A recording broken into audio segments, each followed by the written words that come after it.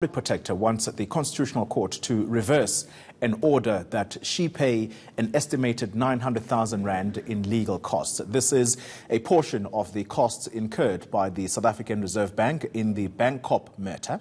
The case related to a report Mkhwebane released in 2017 recommending that ABSA repay the Reserve Bank for a Bankorp bailout during the apartheid era. Let's go live to our reporter Janke Tolmay at the Constitutional Court for more on this story. Janke, good morning to you. So Today, is it the start of um, the hearings into this matter? What can we expect?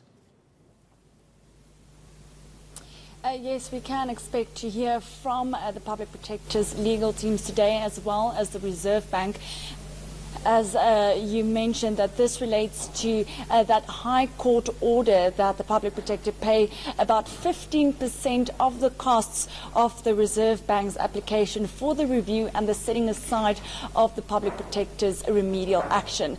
Now, what the Public Protector is saying is that it was inappropriate for the High Court to order that she personally bear the costs for the application because, according to her legal team, this interferes with her independence. So, what she is saying that even though she was wrong in some of her uh, remedial action in her report, it is inappropriate for her to then bear the, per, the cost personally.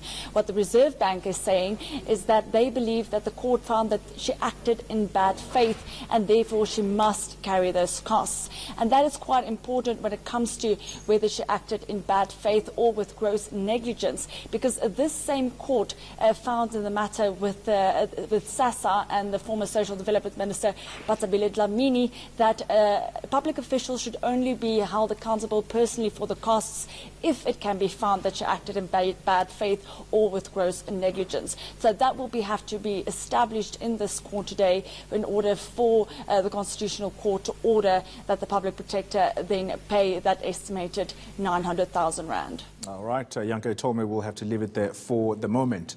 Janke Tolmay covering that particular case at the Constitutional Court for us.